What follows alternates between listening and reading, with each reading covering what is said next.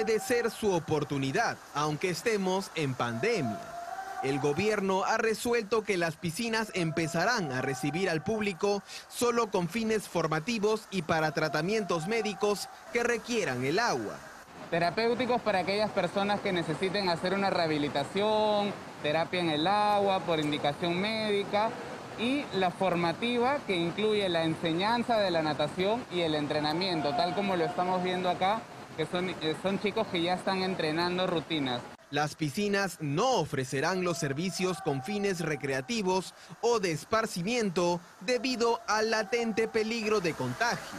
Sigues órdenes, instrucciones, tienes un tiempo determinado y no está permitido el hecho de jugar, hablar, intercambiar objetos, que es eh, justamente elementos que ayudan a la propagación del virus. Por ahora, los más felices son los menores de edad quienes tras mucho tiempo en aislamiento y en clases virtuales, ahora podrán aprender a nadar. El estar acá en la piscina le encanta, le encanta, y mejor aún cuando está con, su entrenador que le enseña y, y él se le enseña cosas nuevas. Eh, es agradable cuando te cuenta, ¿no? Me enseñaron esto, mamá, me enseñaron lo otro. Eso es bonito.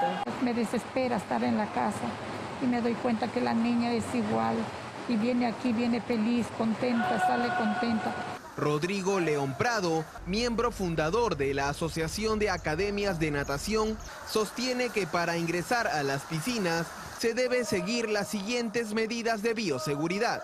En la entrada solamente, obviamente se le pide el carnet de vacunación con las dos dosis a los mayores de 18 años.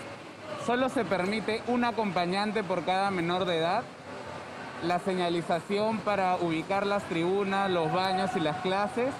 Termina la clase y los niños se cambian con una bata con sus padres y los adultos también con una bata en las tribunas. Los vestuarios continúan cerrados al ser espacios cerrados y sin ventilación, ¿no?